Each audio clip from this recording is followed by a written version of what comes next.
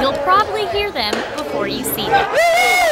And we all kind of support the team the same way, with kind of vocal and yelling. In 1995, a group of Sooner baseball fans recognized a kindred spirit in the people sitting near them.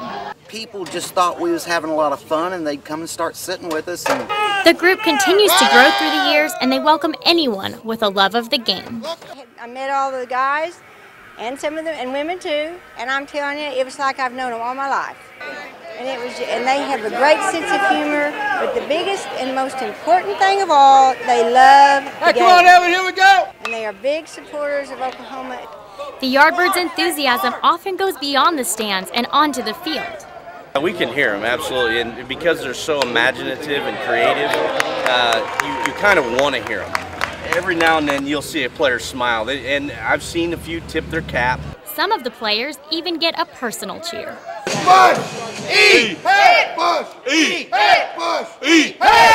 I don't view it as very creative, but we ask him and he says, I love it.